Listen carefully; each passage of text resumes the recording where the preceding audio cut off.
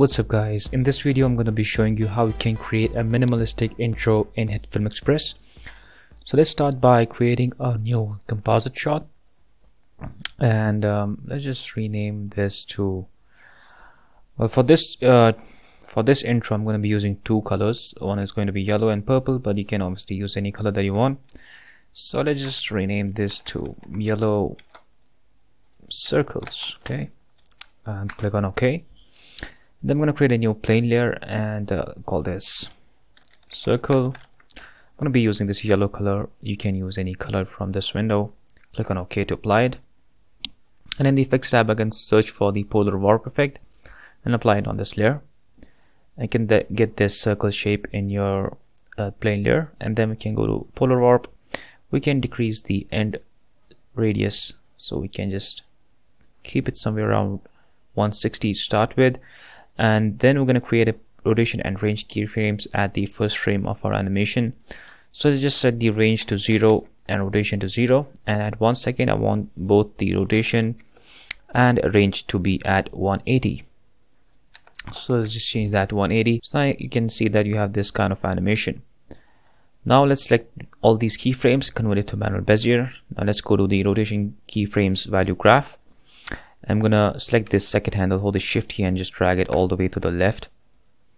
And do the same thing with the range go to value graph and hold the shift key. Just drag it all the way to the left.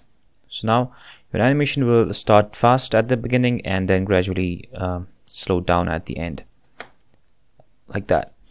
Now we can just duplicate this. So let's control D to duplicate it. I'm to turn down its opacity just to see what I'm to do with this so we can go to polar warp and I can increase the end radius to around 315 or maybe 320 um, and then we can move to the 5 to 5 frames forward. I'm going to select these keyframes and just you know put these first two at the fifth frame. And then we are going to again repeat the process. So just duplicate this go to effects polar warp move 5 frames forward and just you know place these keyframes at the 10th frame and I'm going to increase the end radius as well. So let's set it to around 500 again duplicate this and again I'm going to move five frames forward. Select these keyframes and put it where the playhead is and again increase the end radius to something like uh, maybe 720 something like that. And then uh, we can duplicate it one last time and we can just go to polar warp uh, set the end radius to whatever the maximum value is. So it's 1024 and again I'm going to move to 20th frame and just put all these keyframes at that position. So now uh, if we take a look at our animation we will have something like this. So in the last layer you can see that we have these um, black area in the edges and the corners. So we can just go transform and just scale this up to around 108 and you can just get rid of that black area. And now we can search for opacity and just crank that to 100 on all these layers. Okay so we have uh, this kind of animation. Now what I can do is I can just duplicate this composite shot and I can just um, rename this to purple because that's the color that I'm going to be using. Click on OK. I'm going to double click on this composite shot I'm going to search for the fill color effect apply it on the first layer. I'm gonna set the blend amount to 100 and pick this purple color from the color window. And then I'm going to copy this fill color and apply it on all these four layers like that. Now we can create a new composite shot and call this main. Click on ok and I'm going to drag the purple and the yellow circle layer make sure the yellow is at the top. And on the purple circle composite shot I'm going to expand I go transform and set the rotation to 180 and now if we play this animation we'll have something like that okay now we'll create create the logo placeholder. So I can just drag in the circle layer and I can apply the fill color on this. Set this to 100 and I can just again use this purple color. Obviously you can choose any color you want. I'm going to use this color.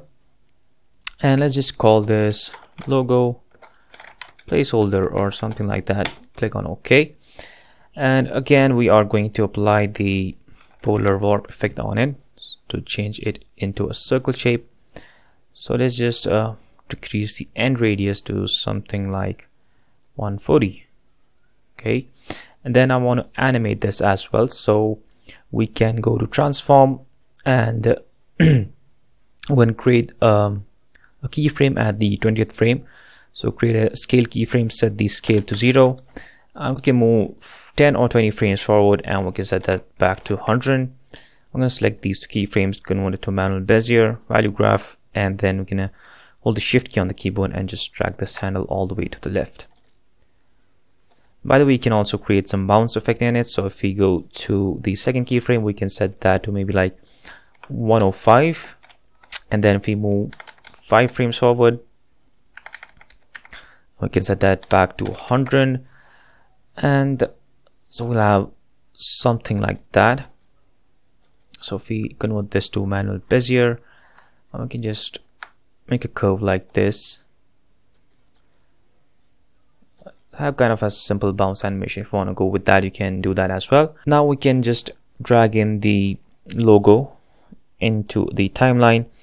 And we can just go to transform and scale it down like that. And I want to animate it as well. So uh, what I'm going to do is I'm going to move it down like that. And I'm to create a position keyframe. Let's create it at maybe at one second. And two frames create a scale keyframe. Not the scale but the position keyframe. And we can move 10 frames forward and we can set that to uh, we can also create a bounce animation on this. So we can just move it a little bit up like that. And move 10 or maybe 5 frames forward we can bring that back to zero. And convert all these keyframes to manual bezier. So gonna have something like that but uh, it's really fast. So what I'm gonna do is I'm gonna uh, gonna select these two. I'm gonna you know increase the gap in between these keyframes. So maybe I can just keep it somewhere over there. We can also change the graph uh, to you know something like this. We can create a curve like that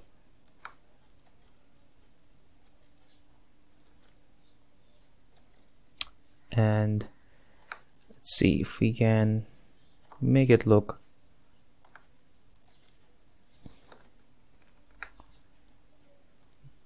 better. So, yeah something like that. Okay so looks good. We can play around with the positioning of these keyframes. So we can just maybe we can just move it a little bit forward so that you know it comes up real quick. Yeah looks good. Uh, then I can uh, if we move to the very first frame you can see that our logo is uh, already visible at our first frame. And what I want to is I want this logo to be visible only in this blue and this purple shape. We can just simply duplicate the logo placeholder. And uh, we can go to effects and remove the polar warp from it. And just for the sake of the story I'm going to change the color of this layer to red just to differentiate it. And by the way let's uh, you know what? Let's keep the polar warp and let's just simply change the fill color to red like that. So now what I want to do is I want to like move forward and in time and then I'm gonna grab the ellipse mask tool so I can hit the E key on the keyboard or I can just click on this icon right there then I'm gonna move the mouse cursor in the middle hit the E key and I'm gonna click and hold hold the shift and the alt key on the keyboard. I'm gonna create a shape like this. And uh, you know what uh, as I said you have to remove the polar warp from it. So let's just remove that. And if it's not uh, you know in the proper place so you can just use the selection tool and just you know use the arrow keys to move it up and down. Not the logo but the mask. Like that. Okay so now our mask is also going to animate like that. And now we're going to apply the set matte effect on the logo but it's not going to work. So to make it work we need to uh, right click on the logo placeholder and I can just rename this as well. So let's just um, rename this to logo placeholder. Matte click on ok. And I'm gonna right click on and click on make composite shot. And we're gonna click on the current timeline and move layer option and click on ok. Now if we go back to our main we can hide the logo placeholder matte composite shot and now we can apply the set matte effect on the logo layer. Set the set matte to set the source layer of the set matte to logo placeholder matte composite shot set the blend to subtract and also make sure you click on the invert checkbox. So now if you can see we we'll have our logo which is only going to be visible in this uh, in this shape. So that's pretty much it. Now we can simply add motion accents to it. I have already created a video on how to create some. You can watch that on my channel. So i have a couple of these already saved. So i'm going to bring this lines composite shot onto the timeline. And i am going to uh, just drag it and you know move it to around one second in time and I can just also scale this down like that.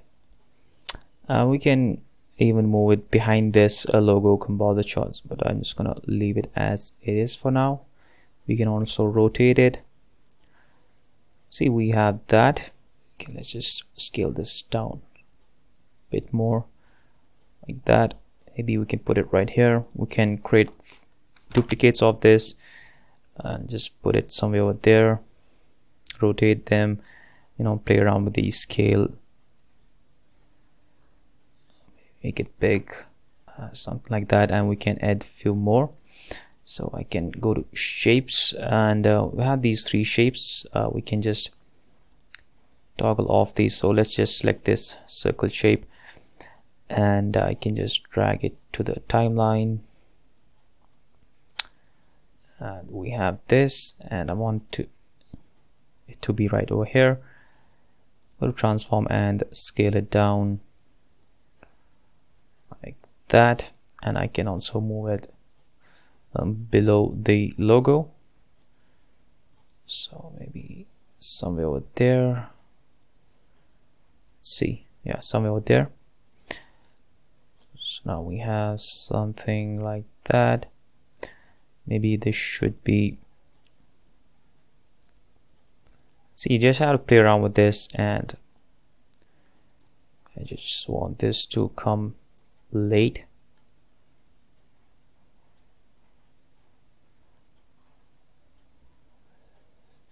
So you get the idea of what I'm trying to create. Just create some motion accents and just you know uh, drag them into your main animation so similarly I'm going to drag this waves uh, that I've created. So I can just uh, go to transform and scale it down as well.